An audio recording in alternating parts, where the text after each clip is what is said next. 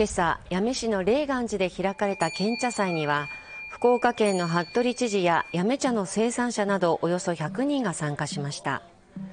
八女茶はおよそ600年前に永林宗瑞禅寺が中国から茶の種子を持ち帰り霊岩寺の周辺で栽培したのが始まりとされています。この献茶祭は永林宗瑞禅寺に感謝するとともに八女茶の発展を祈願するため88夜にちなんで開催されているものです。式典では新茶が供えられた後江戸末期から茶もみの際に歌われてきた茶山歌が奉納されました。茶山茶どころへ。